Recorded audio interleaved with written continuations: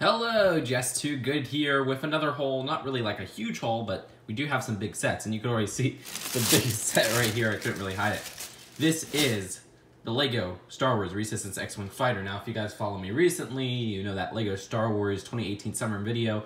I said I wanted this, but I never got it. Well, I finally got it because I've been looking for it on Target clearance, and this was 40 bucks at Target, which was awesome. You could see the sticker on the back side right here.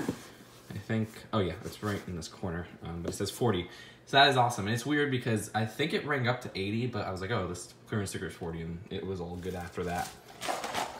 Other stuff I got wasn't too much on clearance, but I did get some new sets that were hard to find. I'll tell you where I found these because it's not really the most conventional place. Uh, this is the Lego uh, Mountain Fugitive set for a city, which is basically the Mountain Police starter set.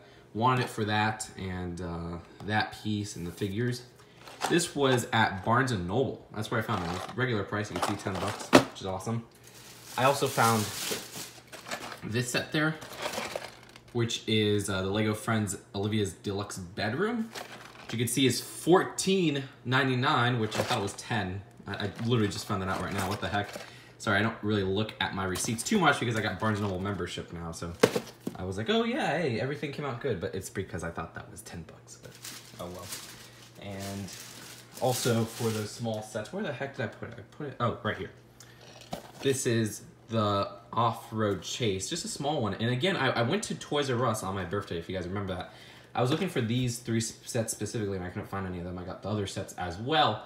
And these were all just on the shelves of Barnes & Noble. I guess Barnes & Noble did a big clearance, which we saw in the other video, but this was a Barnes & Noble I, I didn't check before.